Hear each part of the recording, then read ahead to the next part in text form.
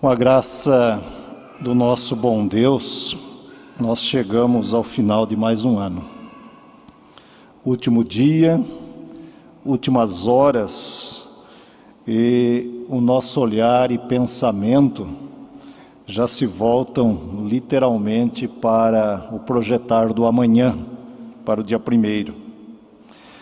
Mais ainda, podemos dizer que para muitos, ansiosamente se aguarda a chegada do novo ano, visto o desejo de deixar o velho e o passado para trás, como se isso fosse possível, tão somente em virtude do surgimento de um novo calendário a partir de amanhã. Também, ao nos aproximarmos do novo ano, vale a pena uma cuidadosa reflexão sobre a caminhada realizada durante o ano de 2023. Como chegamos até aqui? Desanimados ou agradecidos e cheios de esperança? Como foi a nossa jornada durante 2023 como pais e filhos, esposos e esposas, irmãos e irmãs, amigos e amigas, patrões e empregados? Que nota daríamos de 0 a 10 se fizéssemos uma avaliação individual em cada uma dessas ou de tantas outras áreas aqui não listadas? O que fizemos e não deveríamos ter feito? O que não fizemos e deveríamos ter feito? Quantos projetos fizemos em 31 de dezembro de 2022 e se realizaram durante este ano que estamos findando? Quantas foram as frustrações e decepções? Perguntas como estas são frequentes nesse período do ano, porém a maioria delas não apresenta respostas.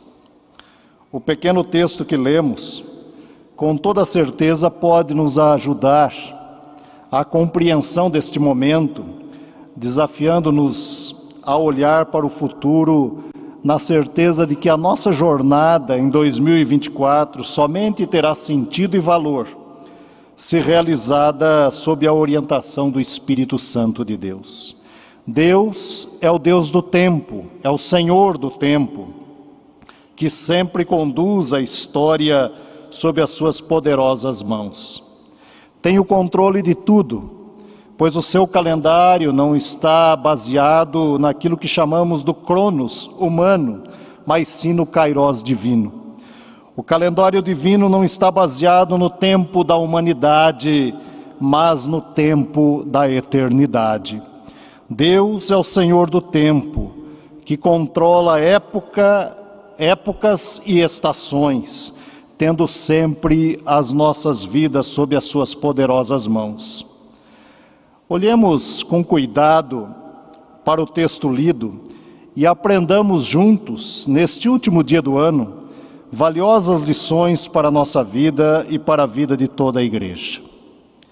O texto que nós lemos fala de um personagem, personagem chamado Esdras.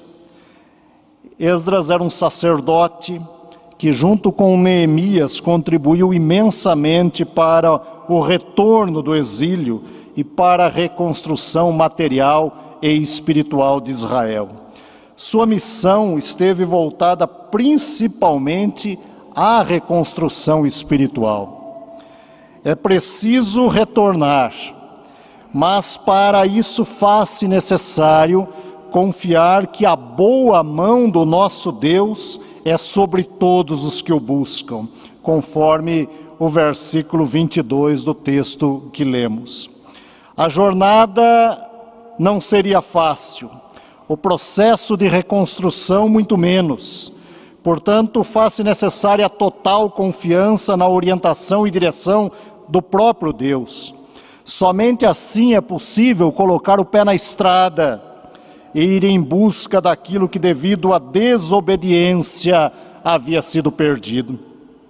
Como dissemos há pouco, chegamos ao final de mais um ano. Somos tomados por pensamentos e sentimentos de gratidão e frustração. Alegrias pela conquista, frustração pelos projetos não realizados. Muitos são tomados por sentimentos depressivos e profunda angústia, pois na balança das realizações, o peso da derrota torna-se insuportável. Ao entrarmos no novo ano, essa pequena história desafia-nos a realização de uma jornada feliz. Contudo, o que fazer para que isso aconteça? O próprio texto responde: convidando-nos a algumas atitudes que precisam ser adotadas em nossa prática espiritual, no cultivo da nossa espiritualidade. Assim, o autor bíblico agiu com o seu próprio povo. Se não vejamos, para que a jornada seja feliz, no olhar de Esdras, era necessário, em primeiro lugar, a oração de todos por todos a oração de todos por todos. Conforme os versículos anteriores que dão início a este capítulo, Esdras liderava um grupo, um grande grupo de exilados, entre eles muitos líderes, assim como ele. Preocupações de todos os níveis eram inevitáveis, afinal de contas, não era uma viagem qualquer, não era um retorno qualquer, era uma viagem e um retorno para um lugar de onde nunca deveriam ter saído. Para onde iam estava a história do seu povo, a história de uma nação, a história de uma terra que fora dada pelo próprio Deus aos seus antepassados. Após organizar a liderança, toma a decisão fundamental: precisamos orar. Não é possível pegar o caminho de volta e seguir em frente, sem antes buscar a orientação e a proteção divina. Para que a jornada seja feliz, há um convite a um tempo de jejum e oração, há um convite à introspecção, à reflexão, à contrição, enfim, à oração.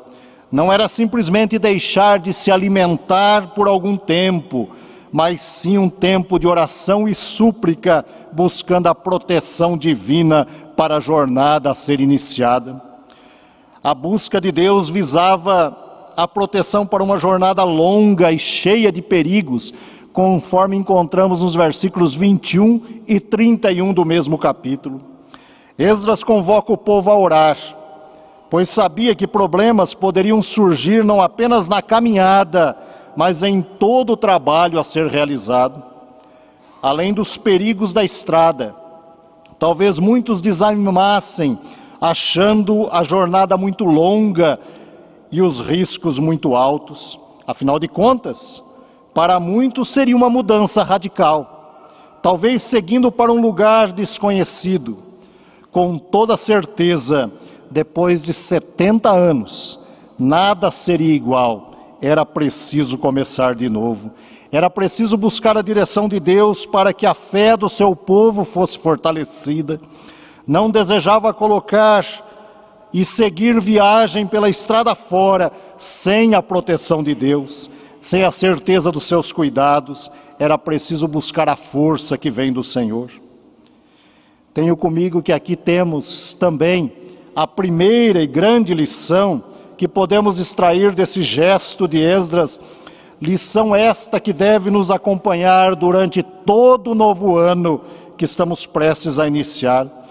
Quando falamos de oração, parece que estamos falando de coisas básicas, ou até para alguns desnecessárias, pois são coisas conhecidas, óbvias da vida cristã.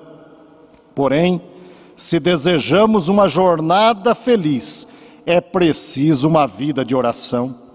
Uma das orientações mais práticas deixada por Deus e ensinada por Jesus à sua igreja, infelizmente, é uma das coisas menos praticada pela Igreja de Cristo na Terra. A oração é um meio de graça que nos aproxima de Deus, é a oportunidade de colocarmos diante dele as nossas ansiedades, medos e insegurança para enfrentarmos a caminhada da vida.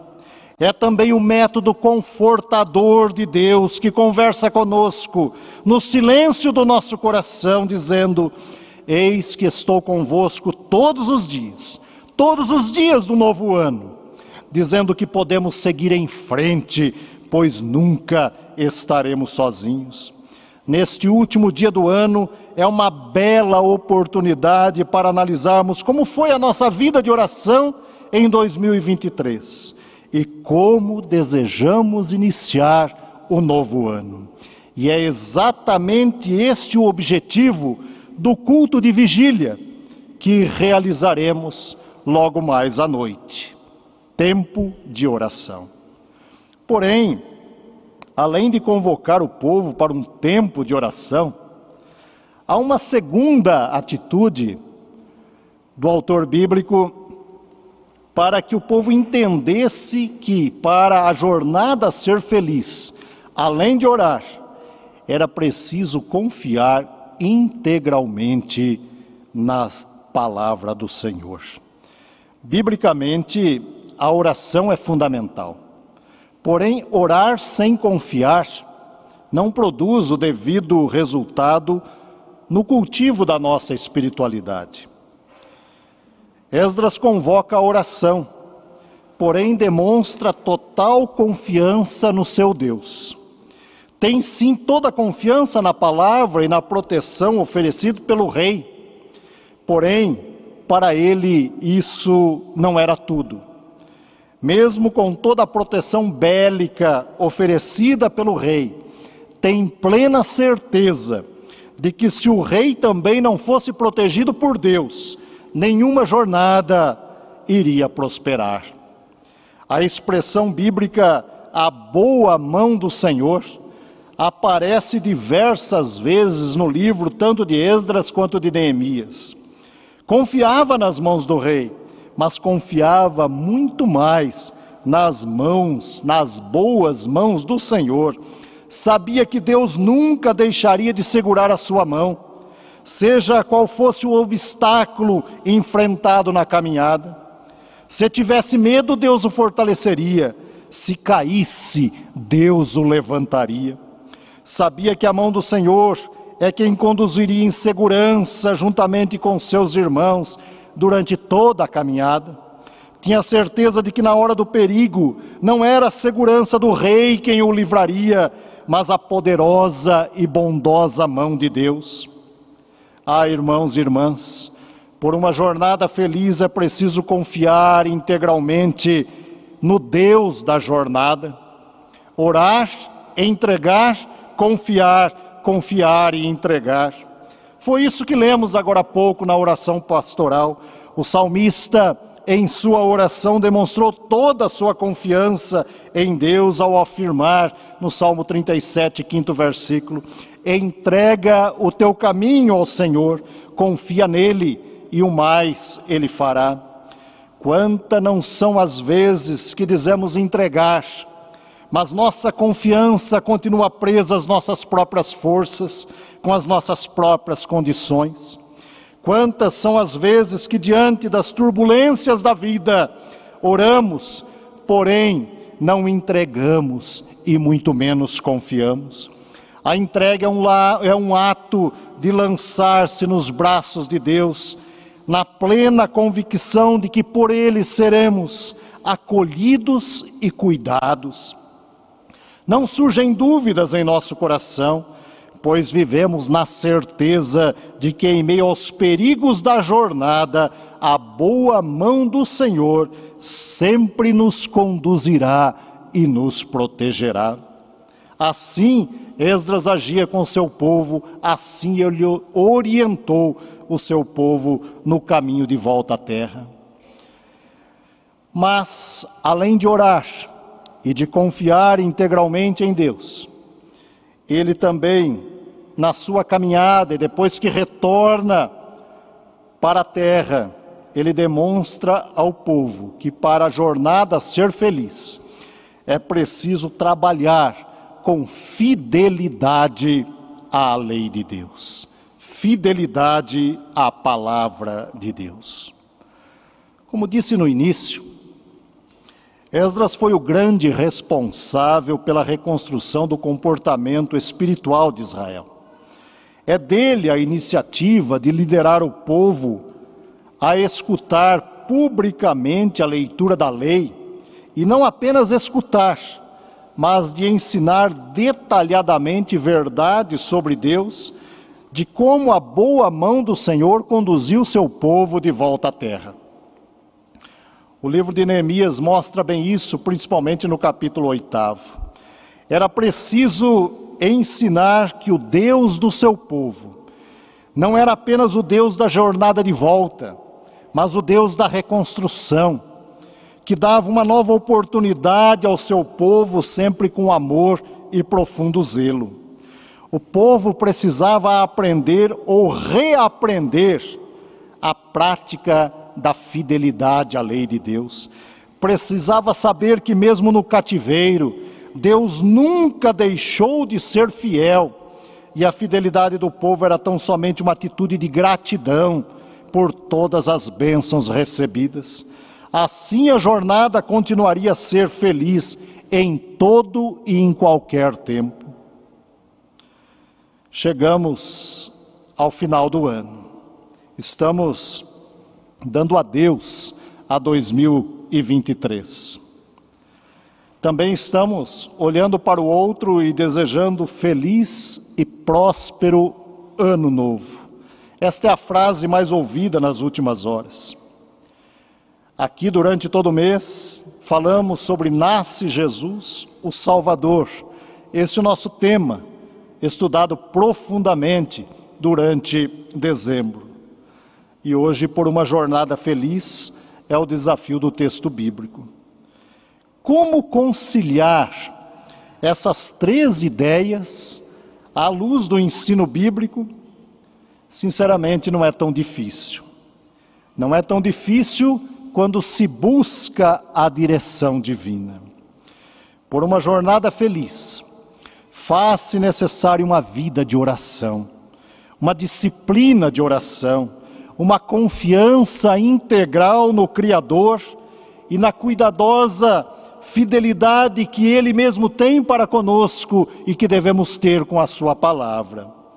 Precisamos buscar, através dos cuidados da boa mão do Senhor, a execução diária de uma jornada em cada dia do novo ano.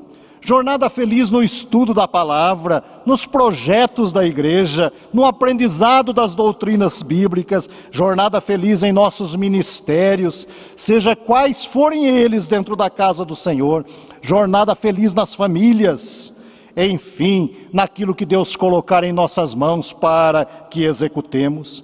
Isso somente será possível se permitirmos o nascer de Cristo, o Senhor da igreja, em nossos corações a cada dia do novo ano. Infelizmente, muitos correm atrás de tudo e de todos, fazem projetos, sonhos e profundos desejos mas não buscam em primeiro lugar a orientação divina. Depois reclamam que a jornada não foi feliz, não foi feliz no trabalho, não foi feliz nos negócios, nos relacionamentos, no lar, na igreja, no trabalho a ser realizado. São vidas que vivem a fazer jejuns vazios, conforme denunciado pelo profeta Isaías no capítulo 58 do seu livro. Ah, nasce Jesus, nasce o Salvador. Jesus continua desejando nascer em cada coração, durante cada dia do novo ano. Deseja ser nosso companheiro de jornada em cada passo, em cada decisão da nossa vida. Deseja nos conduzir com a Sua bondosa mão, ser nosso guia, ser nosso defensor, ser nosso amigo, nosso orientador mas sobretudo nosso Senhor. Isso mesmo, não apenas nosso Salvador, mas também nosso Senhor. Muitos, durante todo o final de ano, festejam a pessoa de Jesus Cristo como Salvador, o menino da manjedoura. Tudo isso é válido e necessário. Porém, nada disso terá valor durante todo o novo ano se Cristo não for Senhor das nossas vidas. Ao apagar das luzes do novo ano, como tem sido a nossa jornada, a nossa vida individualmente falando? Nenhuma jornada será efetivamente produtiva sem submissão ao senhorio de Cristo. Será apenas mais uma corrida atrás do vento. Lembremos, irmãos e irmãs, sempre que Deus continua fiel, pronto a nos guardar em toda a caminhada, sempre sob os cuidados de Sua bondosa e poderosa mão. E que assim seja, para a honra e glória de Cristo Jesus, o nosso Senhor e Salvador. Amém.